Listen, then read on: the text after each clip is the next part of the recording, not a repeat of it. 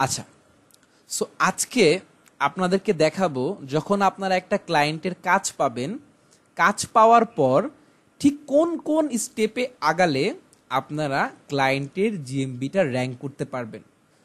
মোটামুটি এই প্রসেসে যদি আপনারা আগাতে পারেন এবং এই স্টেপগুলো যদি আপনারা ফলো করতে পারেন, তাহলে ইনশাল্লাহ আপনার ক্লায়েন্টের জিএমবিটা র্যাঙ্ক হবে। সো প্রথমেই আপনাদের যে জিনিসটা মাথায় রাখতে হবে, সেটা হচ্ছে এই জিএমবির জন্য র্যাঙ্কিং ফ্যাক্টর কোনগুলা? মনে আছে, আমরা যখন প্রথম ক্লাসটা করছিলাম এসিও নিয়ে, আমরা বলছিলাম না গুগলের কাছে দুইশো প্লাস র্যাঙ্কিং ফ্যাক্টর আছে, যেটার মাধ্যমে গুগল ডিসাইড করে তারা একটা ওয়েবসাইটকে র্যাঙ্ক করবে কিনা। মনে আছে সবার? সো তেমনিভাবে লোকাল এসিওরও কিছু র্যাঙ্কিং ফ্যাক্টর আছে। সেই র্যাঙ্কিং ফ্যাক্টরগুলো কি দেখেন? কীভাবে আপনি একটা জিএমবিটাকে পারফেক্টলি অপটিমাইজ করবেন। প্রথমে হচ্ছে প্রাইমারি জিএমবি ক্যাটারি ক্যাটাগরি মনে আছে না ক্লাসে ভালো মতো বলছি না, যে কোনোভাবেই যেন প্রাইমারি জিএমবি ক্যাটাগরিটা ভুল না হয়? ওকে এরপরে হচ্ছে keyword in GMB business title এখন এই জিনিসটা আগে হইতো বাট গুগলের কিছু আপডেট আসার কারণে এখন জিএমবি টাইটেলে কিওয়ার্ডটা বসানো যায় না। বাট ওই যে বললাম মনে আছে? ক্লাসের ওই জিএমবি অপটিমাইজেশন ক্লাসে বলছিলাম যে আপনি যখন একটা জিএমবি খুলবেন, আপনি ট্রিক্স করে ক্লায়েন্টের বিজনেস নামের মধ্যে যদি একটু ঢুকাই দিতে পারেন কিওয়ার্ডটা তাহলে আপনার জন্য অনেক বেশি প্রফিটেবল হবে। আচ্ছা এরপরে হচ্ছে proximity of address to the point of search এই জিনিসটা কি? ফর এক্সাম্পল আপনি জিএমবিটা অপটিমাইজ করলেন মিরপুর এরিয়ার জন্য। কিন্তু কেউ যদি এখন, কেউ যদি এখন নারায়ণগঞ্জ থেকে সার্চ করে তাহলে কি আপনার জিএমবিটা খুঁজে পাবে? আপনার জিএমবিটা কিন্তু খুঁজে পাবে না। সো যে আপনাকে সার্চ করতেছে, সে কোন লোকেশনে আছে, এটা অনেক বড় একটা র্যাঙ্কিং ফ্যাক্টর আমি কি তিনটা জিনিস ক্লিয়ারলি বুঝাইতে পারছি? আমি কি তিনটা জিনিস ক্লিয়ারলি বুঝাইতে পারছি?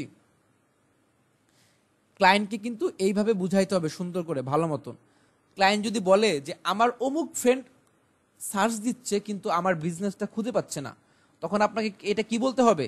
যে this is the ranking factor which is proximity of address to the point of search that means your friend are not in our territory he is residing or he is living outside our territory. That's why he is not showing our business. Clear so এভাবে ক্লায়েন্টকে সুন্দর করে explain করবেন। মানে net issue মনে হয় সবারই কি সেম প্রবলেম হচ্ছে? আমি কি আবার প্রথম থেকে বলব? এটা কি প্রতিদিনই হই- হইছে নাকি শুধু এটা কি না ভাই আজকে প্রথম দুইটা পয়েন্ট ক্লিয়ার ছিল তৃতীয়টা একটু গন্ডগোল। আচ্ছা আমি আবারও বলতেছি আমি আবারও বলতেছি আপনাদের কিন্তু এই জিনিসটা আমি বারবারও বলি যে ক্লায়েন্ট কিন্তু এত কিছু বুঝে না। ক্লায়েন্ট শুধু কি চায়? রেজাল্ট ক্লায়েন্ট কি চায়? রেজাল্ট। এখন ক্লায়েন্ট কি করে জানেন? এই ক্লায়েন্টগুলো কি করে? এরা তো নিজেরা নিজেদের ফোন দিয়ে সার্চ করেই তার অনেক ফ্রেন্ড আছে ফ্যামিলি মেম্বার আছে, এদেরকেও সার্চ দিতে বলে। যে দেখো তো তুমি সার্চ দিয়ে আমার জিএমবিটা খুঁজে পাও কিনা? তুমি একটু সার্চ করে দেখো আমার জিএমবিটা খুঁজে পাও কিনা বা আমার বিজনেসটা খুঁজে পাও কিনা? এই কাজগুলা ক্লায়েন্ট করে। এখন ধরেন এখন ধরেন এইটা হচ্ছে আপনার ক্লায়েন্টের মানে যেই স্টেটটায় থাকে বা যেই এরিয়াটা থাকে, এটা তার আপনার ক্লায়েন্টের এরিয়া এখন আপনি এই পার্টিকুলার এই এরিয়াটার জন্য, ধরেন এটা হচ্ছে মিরপুর, আপনি এই মিরপুরের জন্য আপনার ক্লায়েন্টের জিএমবিটা অপটিমাইজ করছেন। ঠিক আছে? এখন আপনার ক্লায়েন্টের একটা ফ্রেন্ড সে থাকে হচ্ছে ধানমন্ডি। সে থাকে কোথায়? ধানমন্ডিতে। এখন বলেন, সে যদি ধানমন্ডি লিখে এই রেস্টুরেন্ট নিয়ার মি লিখে সার্চ করে, সে কি এই আপনার ক্লায়েন্টের রেস্টুরেন্ট খুঁজে পাবে? খুঁজে পাবে বলেন?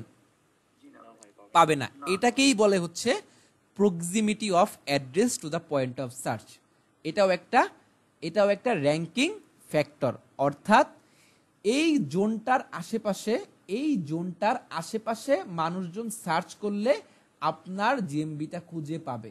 এই জোনের থেকে দূরে চলে গেলে আপনার জিএমবিটা খুঁজে পাবে না।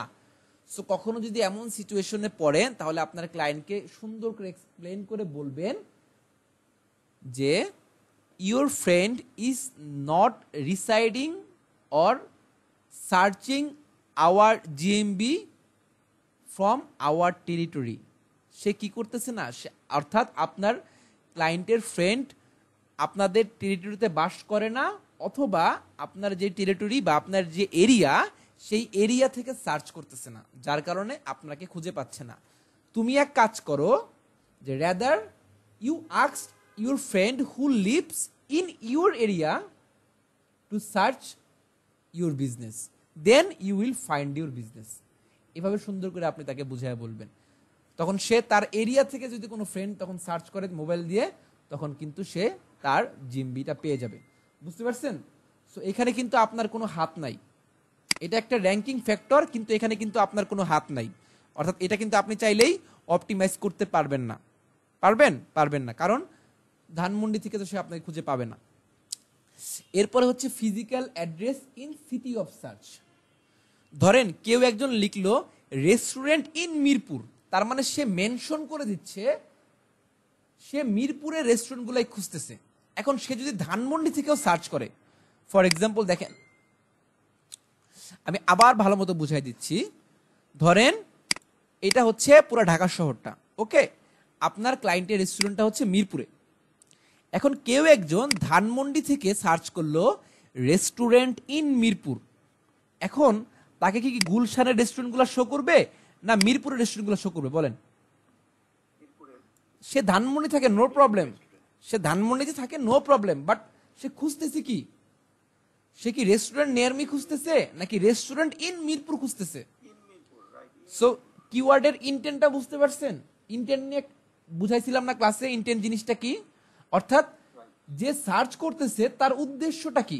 সে কই থেকে সার্চ করতেছে, এটা ম্যাটার না।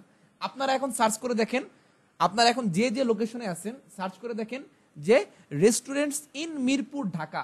দেখেন, মিরপুরের রেস্টুরেন্টগুলাই শো করবে। সো এটাই বলতেছে, যদি ফিজিক্যাল অ্যাড্রেসটা ওরকম সার্চে মানে থাকে, তাহলে এটা কাজ করে র্যাঙ্কিং ফ্যাক্টর হিসেবে। সো এইখান থেকে আপনাদের কিন্তু একটা নোট করার ব্যাপার আছে। সে নোট করার ব্যাপারটা কি জানেন? নোট করার ব্যাপারটা হচ্ছে, আপনারা যখন পোস্ট লিখবেন, ডেসক্রিপশন লিখবেন, তখন এই কিওয়ার্ডগুলা বসাই দিবেন। ধরেন আপনার ক্লায়েন্টের বিজনেসটা হচ্ছে টেক্সাসে। আপনি ওইখানে মেটা ডিসক্রিপশনে বসাই দিবেন যে, SU station is the best burger shop in Texas. Clear? এইভাবে ওই লোকেশনগুলা ডেসক্রিপশনে পোস্টের ডেসক্রিপশনে আপনারা সুন্দর করে ইনপুট করে দিবেন। ওকে আচ্ছা। এরপরে হচ্ছে অ্যাডিশনাল জিএমবি ক্যাটাগরিজ ক্লাসে দেখাইছিলাম না যে প্রাইমারি ক্যাটাগরির বাইরে আপনার ক্লায়েন্টের বিজনেস আর যেই যেই এরিয়াগুলা কাভার করে, সবগুলা ইনপুট করে দিবেন। দেখাই দিছিলাম সুন্দর করে। মনে আছে?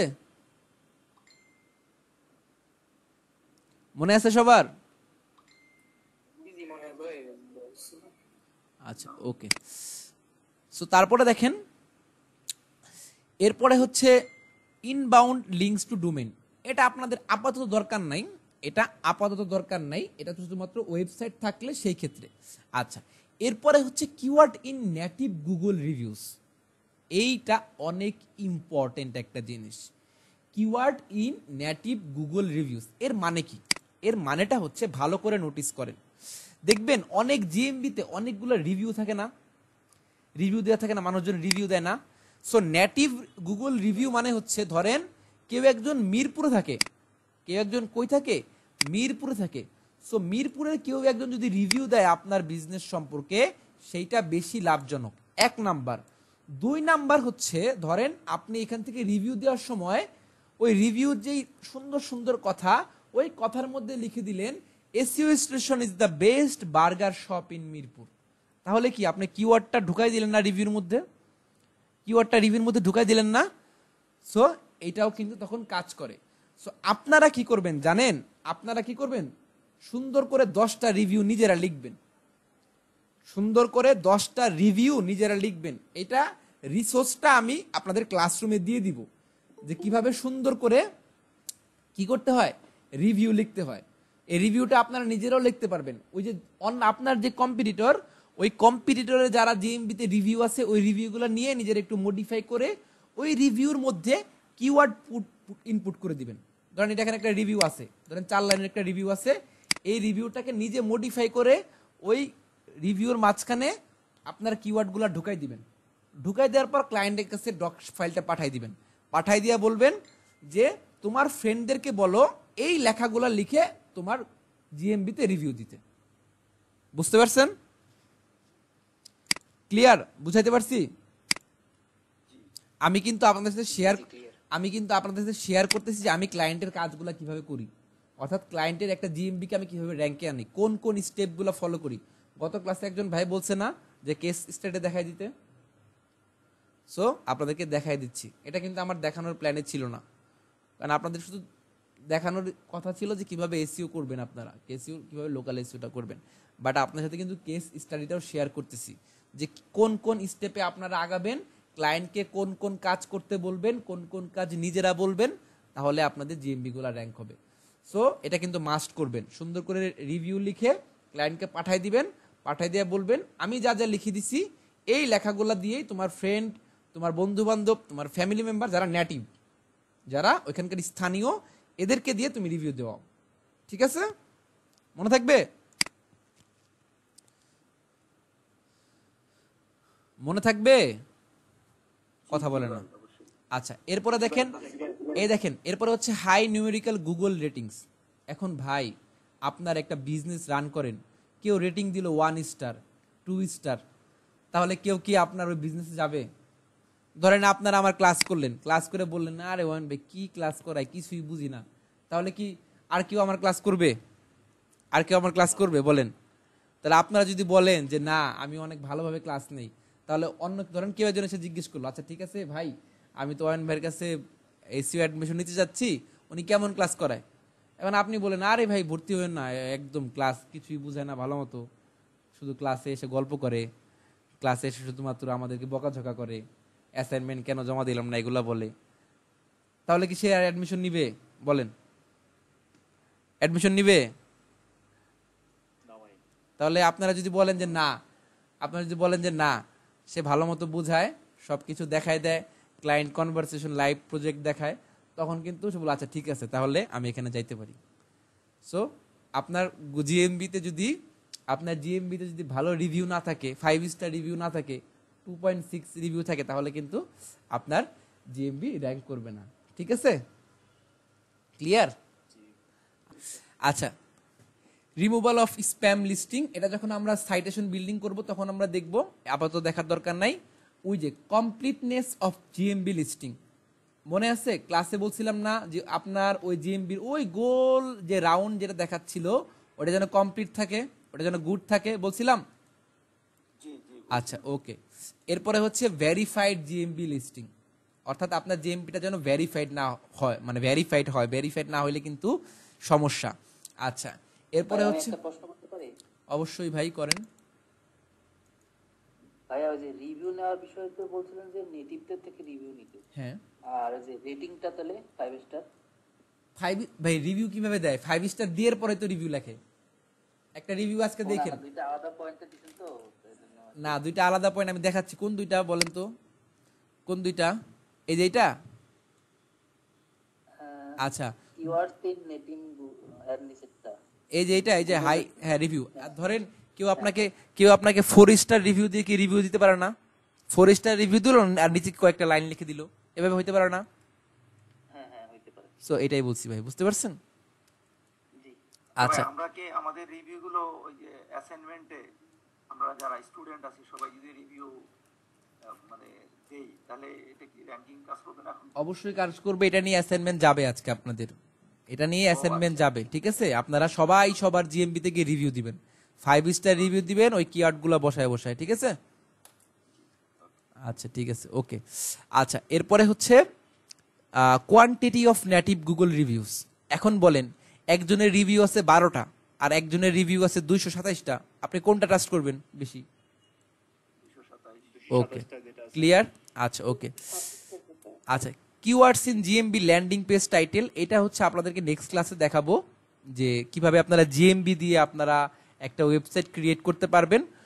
এই বাকি যেগুলো আছে যে keywords in GMB landing page landing URL across the entire website ঠিক আছে? এটা হচ্ছে জিএমবি ওয়েবসাইটের ক্ষেত্রে। এটা হচ্ছে জিএমবি ওয়েবসাইটের ক্ষেত্রে, ঠিক আছে? সো এই জিনিসগুলো না ওয়েবসাইটের ক্ষেত্রে তো এগুলো আছে যারা এর আগে এসিও জানেন বা এসিও একটু দেখছেন, তাদের জন্য এই জিনিসগুলো ইজি হবে, ঠিক আছে? আচ্ছা ওকে আচ্ছা এরপরে হচ্ছে অ্যাকশন প্ল্যানটা আপনাদের বলি। প্রথমে আপনারা কি করবেন? সুন্দর করে গুগল মাই বিজনেসটা অপটিমাইজ করবেন। এবং আপনার যে লোকাল কিওয়ার্ডগুলো আছে, সেই কিওয়ার্ডগুলো কি করবেন? জিএমবিতে ইউজ করবেন। কোথায় কোথায় ইউজ করতে হবে? বারবার ক্লাসে বলে দিছি। কোথায় কোথায় ইউজ করতে হবে? বারবার ক্লাসে বলে দিছি। কোথায় ইউজ করতে হবে?